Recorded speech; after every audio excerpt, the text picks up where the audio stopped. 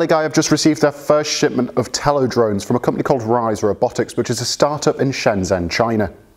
The drone combines components from DJI and also Intel to make a fantastic little quadcopter. In this video we're going to take a first look at the drone and also give a review of what we think of its features and functions.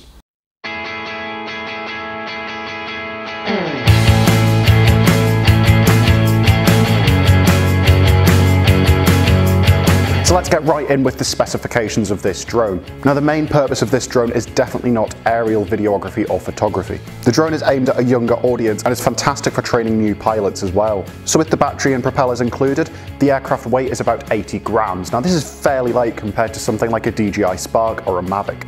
Even though the drone is so light and small, it still packs a punch with a 720 video feed back to your phone can also tell you how far the drone is away from you and also has an intelligent battery to tell you how much of the battery charge you've got left. Depending on what you're doing with the drone, it averages about 11 to 13 minutes flight time. Even with a drone this small, it still packs a punch with its camera. It can capture images at 5 megapixels and also capture 720p video recorded directly to your phone. So in the box, when you first receive your Tello, you're going to be getting the drone, a battery and four spare props. You also get propeller guards pre-fitted and a tool to get the propellers off the drone. You can always buy spares by going onto the HeliGuy website and clicking the Tello drone department. Now when we got our Tello out the box, it wasn't really charged that much, so you want to make sure that you fully charge the drone before taking it out to fly.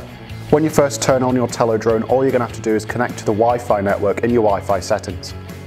Once you've done that, you can launch the Tello app, do any upgrades on firmware you need to do, and then you can get it up in the air. Some tips and tricks we picked up when you first get your Tello is you want to start off in a big open room. This allows you to get used to the controls of the drone. We also tested a few of the Tello's features. This included 360 mode, circle mode, up and away, and also hand launch as well as using the 8D flips features.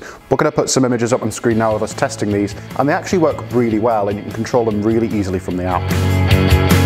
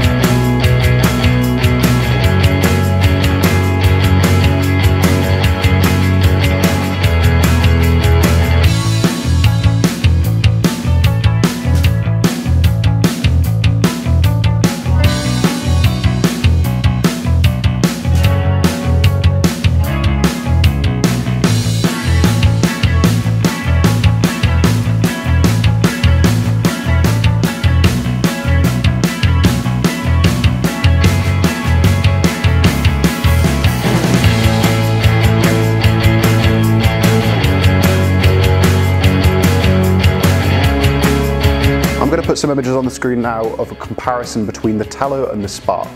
Now the DJI Spark is DJI's most inexpensive drone and is fantastic progression from the Tello.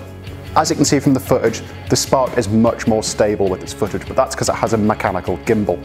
The Tello doesn't have a mechanical gimbal and only uses digital stabilization, which is clearly visible by the footage. Just a reminder that this drone definitely is not aimed at videographers and photographers. It's aimed at people who are just getting into the drone market and want something to train on, as well as younger people. In summary, the Tello drone is an absolutely fantastic option for people wanting to learn how to fly drones. It's stable in the air and easy to control, and you can also customize it to what you want. The Tello is also a great option for people in education, as you can control it by using a coding software called Scratch. Now schools across the UK definitely use Scratch, and we'll be looking into doing a video on this on the future of how to set it up. Through the next coming months, we will be releasing more content on the Tello, so please do stay tuned for that. And you can also go out and check our blog at heliguy.com slash blog for more information about the Tello. We hope you've enjoyed this video. Thanks for watching.